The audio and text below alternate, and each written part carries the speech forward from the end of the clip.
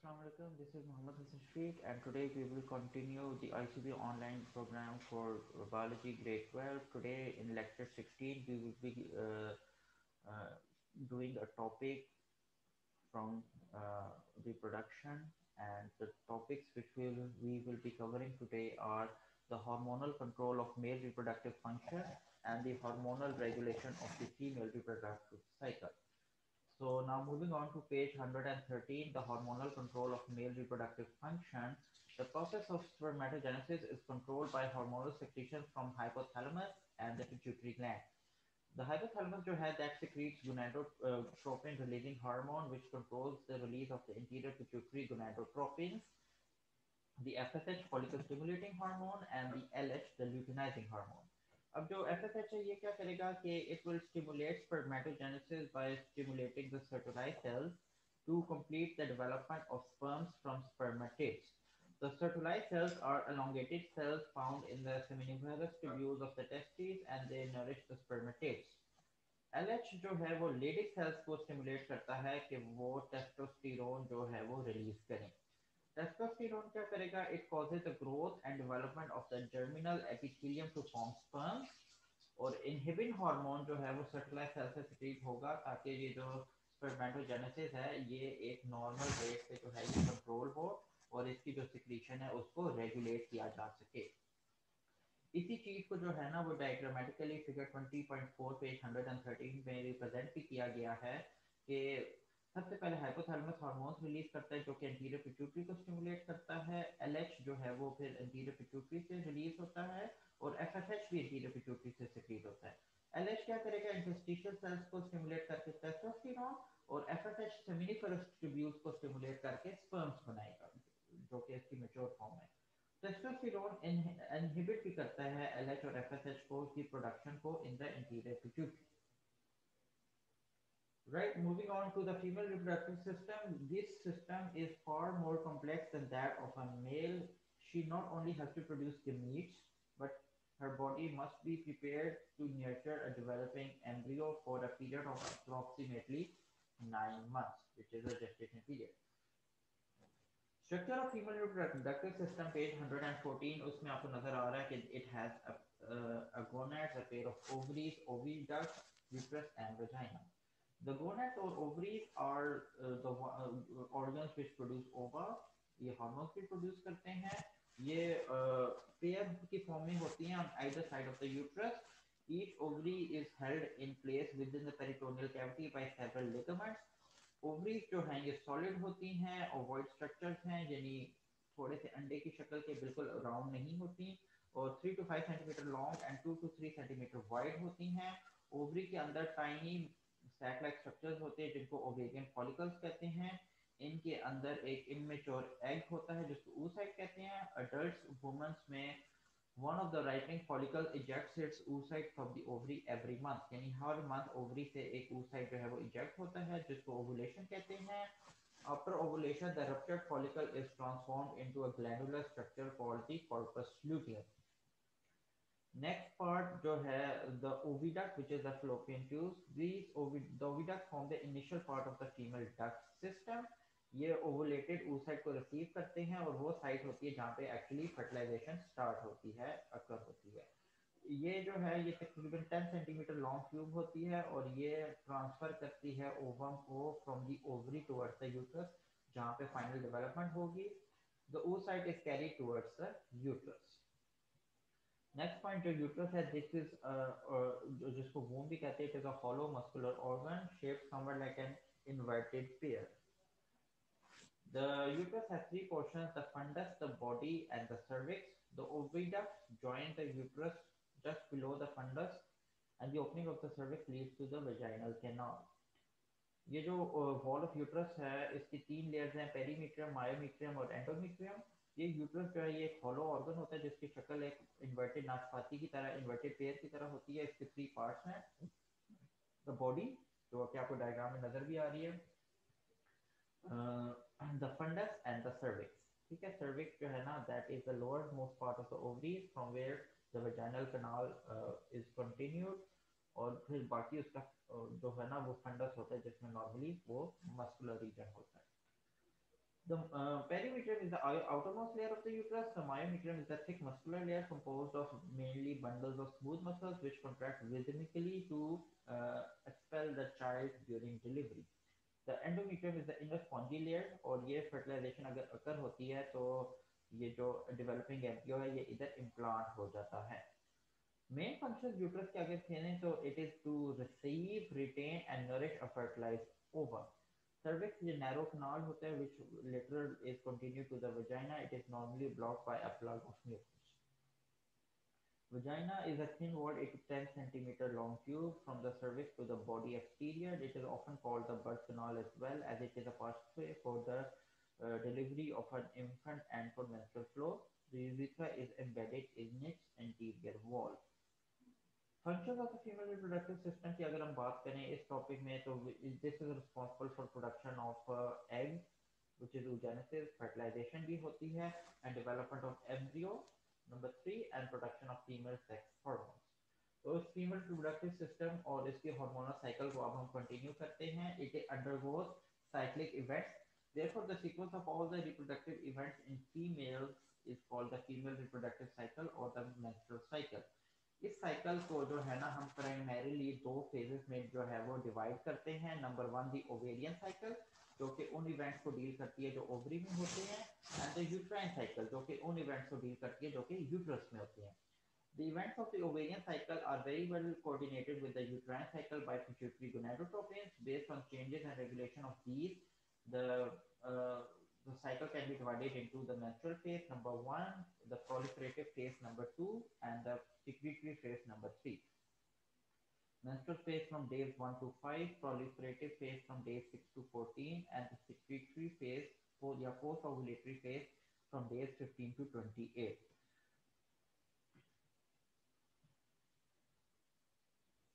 Menstrual phase की बात करें तो इस फ़ेज़ में जो है ना the uterus sheds all but the deepest parts of its endometrium The thick hormone-dependent functional layer of the endometrium detaches from the uterine wall by a process accompanied by bleeding for three to five days. ये जो detach tissue होता है और blood है, ये vagina से बाहर आता है एज द मेंस्ट्रुअल फ्लो और इसकी बिगिनिंग में ओवेरियन हार्मोन्स अपने लेवल पे सबसे कम होते हैं और जो गनेटोट्रोपिन लेवल्स हैं वो बढ़ना शुरू हो जाते हैं। एफएसएच लेवल भी जो है वो बढ़ना शुरू हो जाता है। यानी ओवरी में जो है ना वो फॉलिकल स्टिमुलेट करने का टाइम आ रहा है। प्रोलिफरेटिव फ़ेज़ जो कि डे सिक्स से स्टार्ट होती है इसमें जब इन्फ्लुएंस होती है राइज एफएसएच की during the first days for, uh, ovarian follicles जो है वो stimulate होती हैं। These follicles compete with each other for dominance. As a result all but one of these follicles stop to grow and finally disintegrate जिस जिसमें एक process होता है जिसको कहते हैं follicle atresia While one dominant follicle in the ovary continues to mature and becomes mature follicle, the grafting follicle in which oogenesis occurs. ठीक है तो ये जो सारी फॉलिकल स्टिमुलेटर होती है इनमें से वन जो है ना वो आगे जो है वो डोमिनेंट फॉलिकल जो है वो कंटिन्यू और मेच्योर होकर ग्राफ्टिंग फॉलिकल बनाएगी। जबकि बाकी सारी एक प्रोसेस जिसको फॉलिकल एट्रीसिया कहती है उसकी मदद से डी जनरेट हो जाएँगे। एफएसएच जो है वो ग्राफियन फॉलिकल को स्टिमुलेट करता है कि वो एस्ट्रोजन भी सिक्रीट करे जो कि एंडोमेट्रियम की लाइनिंग को थिक और मस्कुलराइज करेगी यानी उसमें ब्लड सप्लाई को स्टार्ट इंट्रोड्यूस करेगी। Consequently, the endometrium once again becomes velvety, thick and well vascularized. ठीक है एंडोमेट्रियम फिर से डेवलप होगी के बाद Normal, normally cervical mucus is thick and sticky, but rising estrogen causes it to thin and become crystalline. forming channels that facilitate the passage of entry of sperms into the uterus. तो oestrogen जो है ना उसकी secretion से ये जो mucus है thick ये जो जिसने बर्थ नाल को ब्लॉक किया हुआ है वो भी वाटरी और पतली हो जाएगी ताकि स्पर्म जो है वो इजिली फैसिलिटेट करें उनकी मूवमेंट ताकि वो एग को फर्टिलाइज कर सकें एस्ट्रोजन का जो नेगेटिव फीडबैक है वो एफ़ एस एच पे, इस, जिसकी वजह से जो जो एस्ट्रोजन की कंसनट्रेशन बढ़ती है एफ़ एस एच की कम हो जाती है दिस इज़ अ सिग्नल और interior pituitary to secrete LH ठीक है? यानी एफएसएच कम होगा तो इंटीरियर पिट्यूटरी को सिग्नल मिलेगा कि वो एलएच सेक्रीट करे at the end of the day 14 proliferative stage in response to the sudden release of LH from the anterior pituitary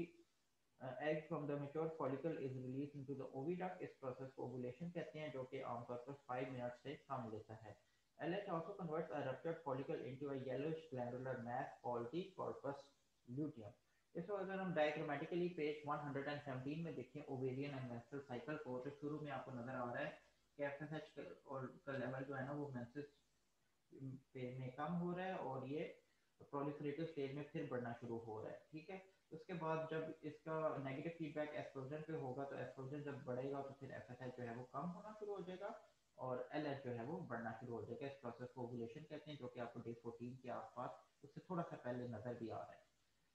उसके बाद इन हार्मोन का लेवल जो है ना यूट्राइन साइकिल में कम होता है और जो यूट्राइन हार्मोन साइकिल के जो रेगुलेटरी हार्मोन है एस्ट्रोजन और प्रोजेस्टेरोन उनकी जो कंसंट्रेशन है वो इवेंचुअली बढ़ना शुरू हो जाती है। कि आपको day thirteen to twenty seven में नज़र भी आ रहा है। जो रेड लाइन है दैट इंडिकेट्स प्रोजेस्टेरोन और जो येलो लाइन है दैट इंडिकेट्स एस्ट्रोजन उसके बाद that brings us to the last phase called the secretory post ovulatory phase from days 15 to uh, from uh, 15 to 28 इसमें क्या होता है कि during the secretory secretory phase the endometrium prepares for implantation of the embryo